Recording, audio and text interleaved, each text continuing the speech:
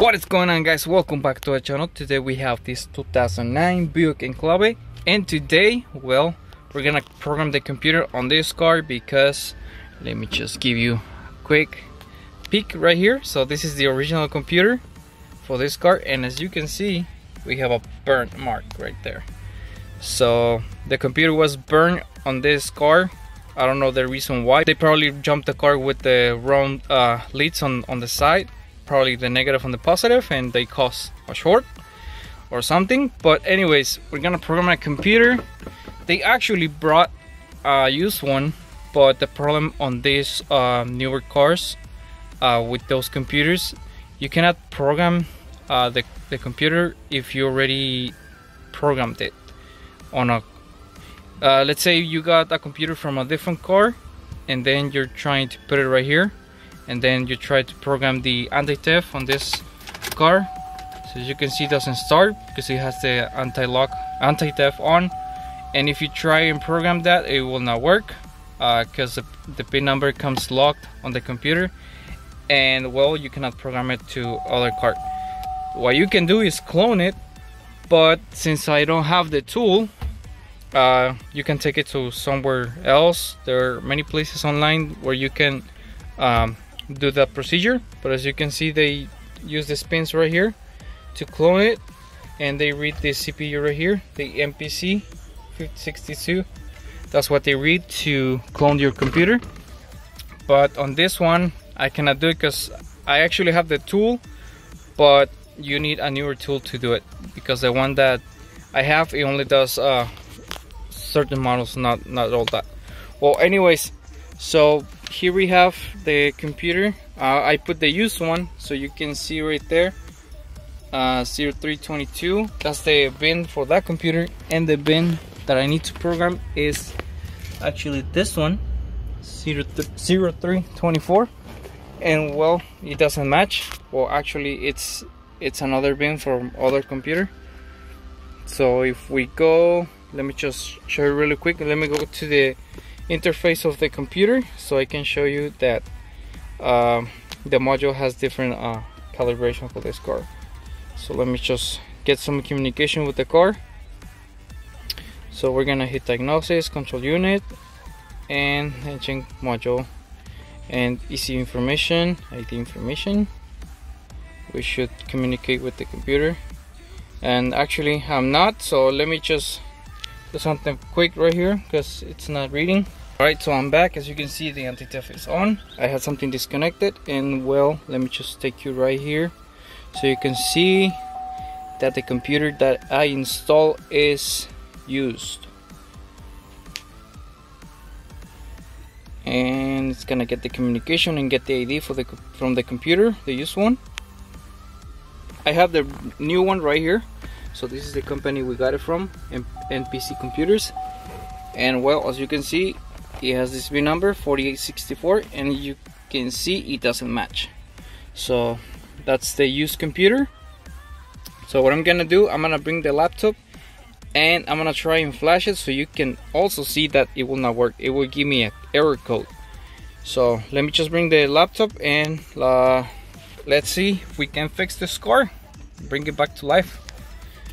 Because it's been sitting for almost for like two years I think. That's what they said two years sitting. And well it has a problem with the communication lines too but I did, I did a bypass so I can communicate with the computer. And this is the tool I use. So this tool is really nice. I can get the pin out for the OBD2 and this is the high um, this one is, is the high communication line and this one is the low. So it's pretty cool. I use it all the time when I program Mercedes it really helps. So let me bring the laptop and let's start working. So as you can see we are on the sequence of SPS let me just turn this up. And here we have the pin number the original one. Let me see. It's a little bit blurry. Sorry. Hold on. Okay. So we have the bin number right there. And we're gonna hit reprogram. It's gonna take a slot from the bin I mean from the program. Let me just move this a little bit so we can get more clear picture. And we're gonna select ECM TCM and we're gonna reprogram it using the original VIN number of this car.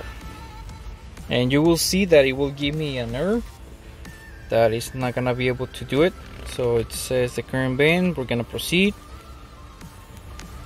Let's just wait a little bit more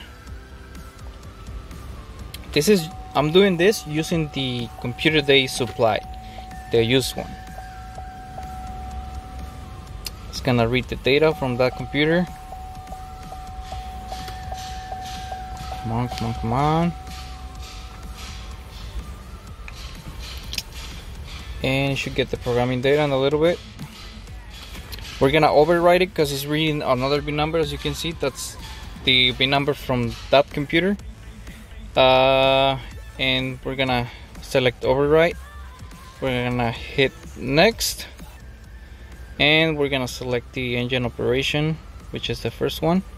We're gonna select next. Start programming. And well it's gonna give me an error in a little bit.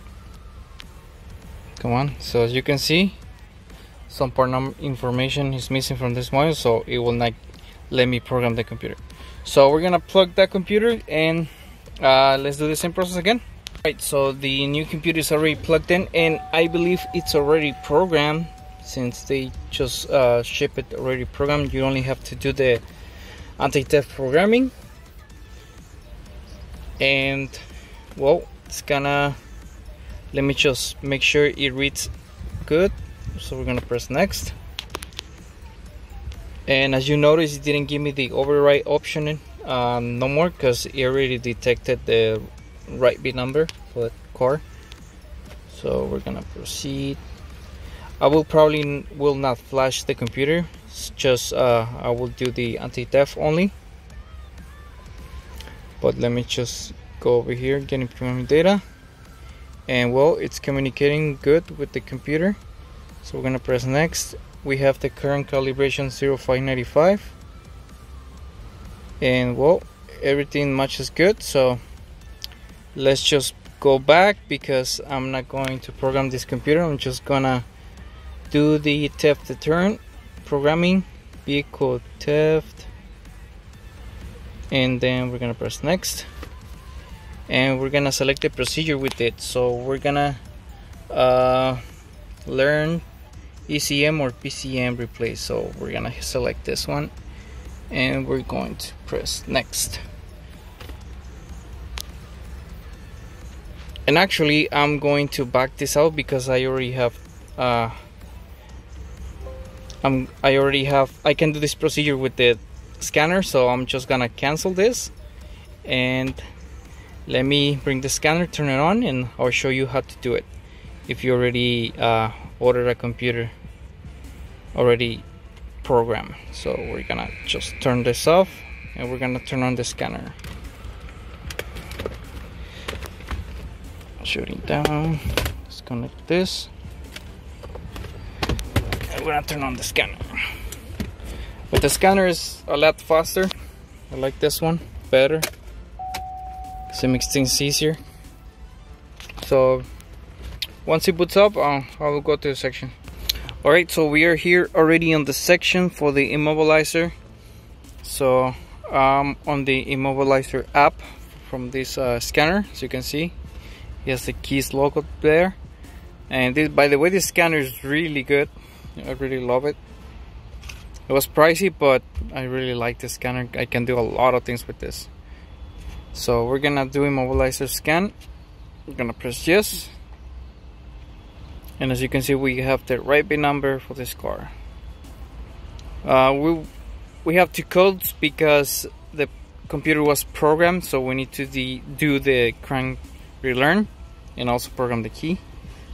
So we're gonna do immobilizer matching and immobilizer can actually just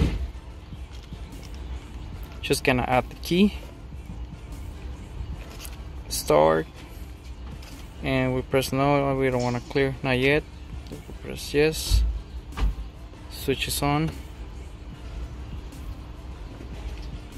And it needs at least two keys but I guess one is already programmed. So we're gonna wait 12 minutes and we should be able to start this vehicle. All right so it's 100 percent now. And we're gonna switch the ignition off. Press ok and then we're gonna switch the ignition on okay again we should see the anti-theft go off. There we go. So we can start. If this doesn't start then we can wait about two minutes until it starts. So it's not starting so we're gonna wait just a little bit. And well test uh, power of the vehicle for 20 for two minutes if if it doesn't turn on. So we're gonna press ok and procedure complete. We're gonna just exit this no because it's already done we're gonna exit this then we're gonna exit this and we come back again. But for diagnostics I have it on history right here. Let me just go right here. And while we are in this system then we're we're just gonna wait wait and we're waiting. And let's see if it starts on. So it doesn't start yet. All right so we already switched the the key. I had to cut another one because like the uh the message said i need to at least two keys to program since we replaced the computer and well uh, it comes with all keys erased and well this one the original obviously is locked to the other computer the original one. But once you program an additional one you can also add this one it will work the same. If you haven't changed the uh, immobilizer module it will still work the same. So after I switched the ignition off and I switched it on with the keys that I want to program it worked perfectly. So as you can see we're gonna open the switch and we need to wait for the anti-theft to go off. And boom starts starts right up. So yeah every, every time you change the computer you need at least two keys to program uh, to make the car start on these newer cars. Alright guys so this will be pretty much uh, the end of the video. If you liked the information on this video please uh, comment down below uh, hit the notifications button so you can be updated with every video I upload every week. And also smash the like button and I'll see you on the next episode guys. JVFix out